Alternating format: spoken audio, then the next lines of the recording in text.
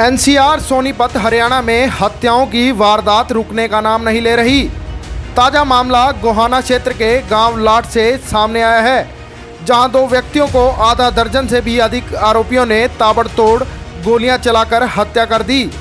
Police ने दोनों शव को कब्जे में लेकर पोस्टमार्टम के लिए भिजवा दिया है। पुलिस ने हत्या का केस दर्ज कर आरोपियों की तलाश को लेकर चार पुलिस टीमों का गठन भी कर दिया है।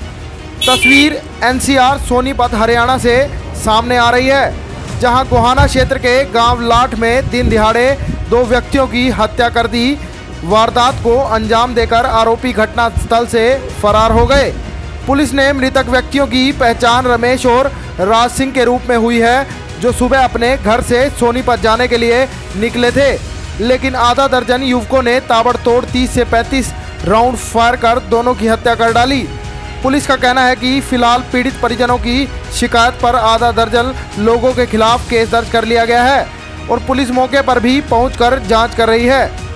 पीड़ित परिवार अब इस वारदात के बाद डरा हुआ है। बताया जा रहा है कि आपसी रंजिश में इस वारदात को अंजाम दिया गया है, क्योंकि जिनकी हत्या हुई है, वह गाँव लाट के रहने वाले थे और उसी गाँव में कुछ लोग बदमाशी करते थे तो मृतक उन्हें रोकने का प्रयास करते थे, लेकिन वह उनसे सहन नहीं हुआ। और वारदात को अंजाम दे डाला। पीड़ित परिवार का कहना है कि उन्हें न्याय चाहिए। वह सुबह सोनीपत जा रहे थे तो उनकी हत्या कर दी गई। क्या कुछ कहते हैं परिजन? वज़ीर सिंह इंस्पेक्टर व मंजीत पीड़ित परिवार निवासी गाँव लाट पूरे मामले पर आइए सुनाते हैं। इधर गाँव लाट का रहने वाला हूँ। रमेश फौजी और सुनो बोलेरा मेरे सगे भाई हैं के और ये मेरा दादा राज सिंह है दोनों फौजी रिटायरमेंट है। और ये रणबीर ने मरवा रखे हैं सूर्य बाबू ने। रणबीर सुनब चंद्र जिसने ये मतलब गोलियाँ चलाई है धर्मपाल सुनब बलिराम ने और अमित सुनब धर्मपाल ने मोनू सुनब धर्मपाल ने दीपक सुनब धर्मवीर बाकी अन्य जो मेरी पहचान में नहीं आए इन्होंने कम से कम तीस गोली चली है।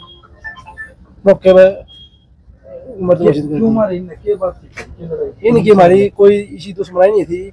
इन्होंने गाँव में गदर कर रखा था। रमेश फौजी ने सियाई स्टाफ में भी बोला था एक लाख रुपये नाम के दूँगा अगर इन हथियार नहीं होंगे तो। सियाई वाले बोलेगा हम कार्रवाई कर लेंगे। उसके बाद कोई कार्रवाई नहीं हुई। ये अवैध हथियार रखते थे। गाँव में किसी की टांग तोड़ना किसी का हाथ तोड़ना बदमाशी गुंडागर्दी कर रखी थी। और हमारे को भी धमकी दे जा रहे गोली मार कर इनको गोली मार कर हमारे को धमकी दे जा रहे हैं। अगर जो बच गए उनको भी ऐसे ही मारेंगे। गाँव के ही हैं। गाँव के हैं कुछ बंदे बाहर गए हैं इंदौर हैं जो बाहर जोड़ पे असराला जोड़ बोलते हैं उस पर वहाँ पे उस पल्लू का मकान है सनोप ढिल्लू का पल्लू सनोप रामनारायण है उसका मकान उसके गाँव उसके घर में बैठे है बदमाशों की ऊपर कमरे में बदमाश रहते हैं अवैध हथियार रखते हैं दो तीन गाड़ियाँ रखते हैं कुछ बाइक रखते हैं कुछ गाँव के बच्चे हैं। तो आज ये किस चीज़ पे आए थे? ये दोनों मेरे घर से निकले थे सोनीपत की तरफ़ रवाना हुए थे ये। विक्की की किस चीज़ पे थे? बाइक पे सवार थे ये। सोनीपत जाना सोनीपत जाना था विक्की की ट्रांसफ़र के लिए जेल ट्रांसफ़र के लिए। मैं इनके पीछे पीछे था। तो विक्की का क्या मामला है? विक्की का मामला ये सुरजा नहीं मार रखा था। विक्की ने रोल मारा था। अच्छा हाँ। ये तो हैं रमेश और राज सिंह ये आज सुबह सवा दस बजे घर से निकले थे। और ये सोनीपत जाना था इन्होंने कोई किसी काम के लिए। और यहाँ कुछ अज्ञात लड़कों ने इनको गोली मार दी है। और मुकदमा दर्ज कर लिया गया है। भेज दिया अभी जल्दी हो जाएगा। पाँच छः बता रहे हैं पाँच छः बंदे थे। गाड़ी में थे कोई मोटरसाइकिल पे थे। क्या रंजिश सर बता रहा रंजिश पहले भी एक मुकदमा दर्ज हुआ था इन दोनों को लड़कों का और वो जेल में हैं। और हो सकता है उसी रंजिश में उन्होंने दूसरों ने इनका जो है इनके पिताजी को कत्ल करवाया। तो गाँव का ही मरा था हाँ जी गाँव का।